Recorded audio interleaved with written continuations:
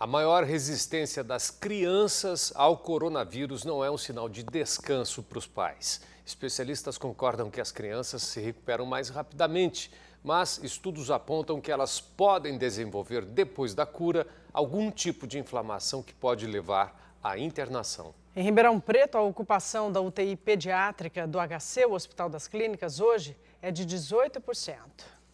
Lisandra conta que ela, o marido e os filhos tiveram Covid-19.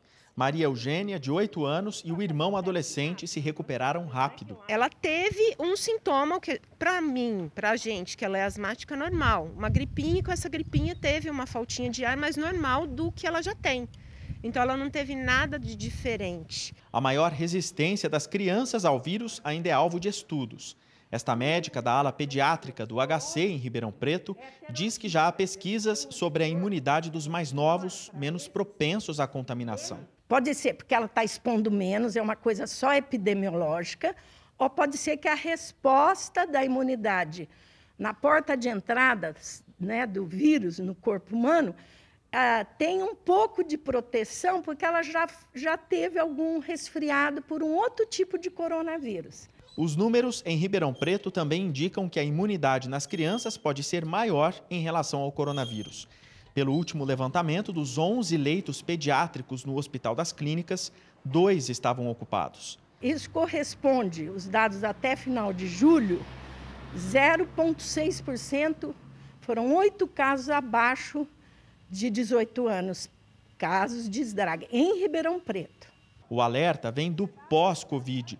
Em Ribeirão Preto, cinco crianças que tiveram contato com o vírus desenvolveram algum tipo de síndrome inflamatória, que também pode levar à internação, incluindo a síndrome de Kawasaki.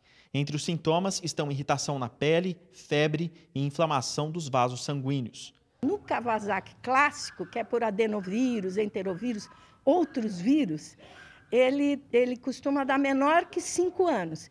E, e, o que é interessante é que no SARS-CoV-2, que é o vírus da Covid-19, essa síndrome está acontecendo em maiores que 5 anos. Com os estudos ainda inconclusivos sobre a imunidade e as síndromes, a família da Lisandra prefere não se descuidar, mesmo depois do corona entrar em casa, tirar sapato, lavar a mão, usar muito álcool, leva o álcool na hora que, que a gente sai. É, não estamos saindo, é, nada de shopping, de restaurante, nada disso, onde tenha muita gente.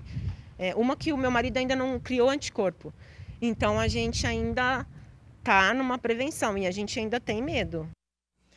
É, além das duas crianças que estão na UTI em Ribeirão, outras seis estão internadas na enfermaria do Hospital das Clínicas também de Ribeirão.